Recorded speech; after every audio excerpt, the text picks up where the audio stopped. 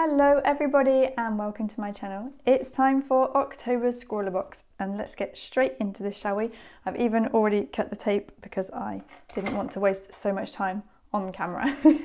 so let's have a look at what exciting goodies we've got this month. Oh, we're looking kind of purpley. Let's have a see, shall we? Ah, I can't get into it. So Okay, we'll put that to the side for a minute. Oh, let's have a see. We have got the Derwent paint pen. Looks like that's like a white pen. Awesome, that looks cool. Oh, a nice purpley splattery sticker this month. I'm liking that colour purple. and look, oh, these are my favourite. I didn't, I don't know if you noticed, um, I didn't get any sweet in my last month's box. I don't know what happened, but it wasn't there. Parma violets. These remind me of my childhood. I absolutely love these. They are really nice. Um, we have got a Dessin HB pencil. Looks like a, a Faber-Castell uh, standard pencil. Looking like some more goodies here. Ooh, what's this? A special gift for you to celebrate our 50th box. Oh wow, that's awesome. This is not my 50th box, but congratulations Scrawlrbox on your 50th box. Awesome. I'll have to find somewhere to pin that. Ooh, ooh, ooh, ooh, Copic Doodle Pack. yes, awesome. I love trying these out. What have we got? A purple and a... Mm, I can't see what kind of colours they are on there. Don't know if they say. Um, a light purple, a darker purple, some sort of glittery pen and a multi-liner in wine. That will be fun to try out. Awesome. Oh, and a kneadable eraser. Can never have too many kneadable erasers. That is cool. Let's have a look what we've got under here. Some sort of paper, which we can check what that is in a minute. And ooh, this, I recognize this person. This looks like a DrawingWiffWaffles uh, piece of artwork. She's another famous YouTuber with over a million subscribers, just like last month's if you don't watch her, you should definitely check her out because she's a lot of fun to watch. Uh, awesome. Let's have a look then at what it says. Okay, this month, uh, the paper is Canson the Wall paper. Awesome. I have actually tried some of this out before, um, but it'll be, I've done it with pro markers, so it'll be cool to see how it works with the um, Copics. And we have the challenge dressed to the nines.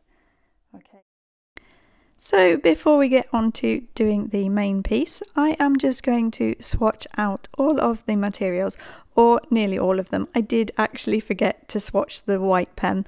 Um, I don't know if you would, would notice if I didn't say, but there I'm telling you in advance. I forgot to test the white. I was going to uh, do it on one of the darker colours, but I just forgot.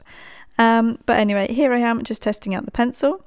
It is your bog standard HB pencil, there's not really a lot to report and it works fine as does the eraser, the kneaded eraser. And it's always good to have lots of kneaded erasers, um, even just to play with. They're quite fun. And then here I am showing you the Copic multiliner uh, in wine. I really like the colour of this one. Um, it's nice to be able to do some uh, line work that is not black because I sometimes think black stands out a little bit too much. Then I'm testing the Atyou uh, Spiker or Speaker, I'm not entirely sure, pen. And uh, this had a really, really nice sparkle to it, which unfortunately you can't see on the video, but it in real life it adds a lovely little detail. And then finally I am testing out the Copic markers. Uh, I really love using um, alcohol markers. I'm more of a Pro Marker fan than a Copic fan uh, partly because I find the brush nibs just a little bit hard to control and I prefer having the bullet nib. Um, but, you know, Copics are also fun to use. So, um, yeah, I swatched these out and then I tried to blend them. I did find that the colours were a little bit too far away to be able to give a decent blend. Um, so it's not really something that I aimed to do then in my piece. Instead, decided to use just um, the colours themselves and not blend them into one another. And as you can see now, I am starting to uh, work on my actual piece. And uh, for this piece, I decided to um, kind of try to take DrawingWiffWaffles uh, style and do my own kind of version. She is really, really good at doing like girl, chibi kind of girls, not quite chibi, but that kind of chibi manga, but in her own style anyway. it's really hard to explain. If you go and look at her work, you will see that she does have a kind of distinct style. But she's really, really good at doing them in like really fluid poses. And I, I just love the way when you watch her how she just composes all of these different poses. It's it's amazing to watch. Um, uh, my drawings are nowhere near as good as hers. I, mine are always, always, always way too static and stiff. And I, I don't really know. I'm hoping that it's just practice that I will get better with time being able to draw people. Um, but I don't know. I think you also kind of just, some people just have a knack for being able to draw like really fluid kind of poses with lots and lots of movement movement in them and uh, unfortunately I'm not one of those people or not yet anyway so this is my kind of chibi looking girl with with a bit of a stiff pose. And uh, yeah I think she's okay. I'm I'm kind of impressed that I managed to draw half decent hands at least even if her pose is still a bit kind of stiff. Um, so anyway I just I sketched it out and then I used the kneaded eraser to uh, lighten the sketch. And I then just went over and did the line work with the Copic multiliner. And when I'd let all of that dry, I then erased the rest of the pencil um, that was underneath the multiliner. And as you can see now, I decided to use the pale Copic marker uh, mostly for some shadows.